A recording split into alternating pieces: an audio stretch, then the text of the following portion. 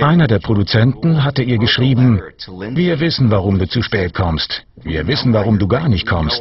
Er nannte sie eine verwöhnte Göre. Jemand gab den Brief der Presse. Das war wirklich ein Zeichen, dass da etwas nicht stimmte. Das ist nicht die Lindsay, die wir kennen. Sie braucht Hilfe.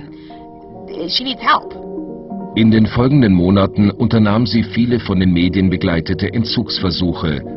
Das Resultat war bestenfalls gemischt. Die ersten zwei brachten nichts. Gleich nachdem sie rauskam, wurde sie wieder beim Partymachen fotografiert. Sie wurde verhaftet und man fand einen Zettel, auf dem stand, wie benutze ich Kokain? Im Frühjahr 2007 spitzte sich ihre Situation nach immer neuen Aufenthalten in der Entzugsklinik und mehreren Verhaftungen zu. Der Tiefpunkt kam im Juli, drei Wochen nach ihrem 21. Geburtstag, als sie in eine wilde Verfolgungsjagd in L.A. verwickelt war.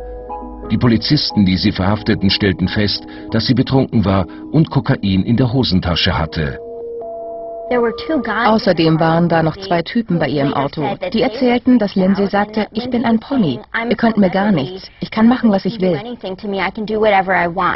Sie zeigte sich selbst an und wurde wegen Drogenbesitzes und Trunkenheit am Steuer angeklagt.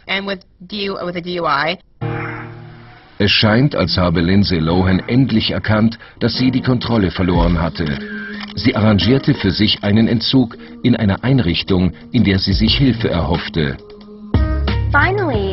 Endlich kehrte sie Hollywood den Rücken und ging zum Entzug nach Utah. Fernab von der Szene, die für sie so verlockend war.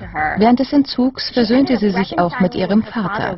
Er besuchte sie und es schien, als würde sich die Beziehung wieder normalisieren. Sie ist ein ganz normaler Teenager, der manchmal vom rechten Weg abkommt.